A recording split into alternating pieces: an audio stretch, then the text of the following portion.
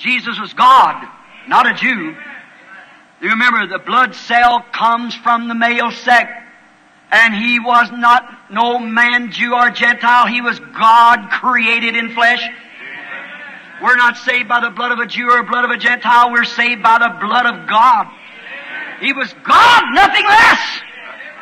He wasn't Jew nor Gentile. God's created blood in him. We become, if he was a Jew or Gentile, we're all lost. He was God in flesh. Right. I don't worship a Jew. I worship God when I worship Jesus Christ. I don't worship some fiction or some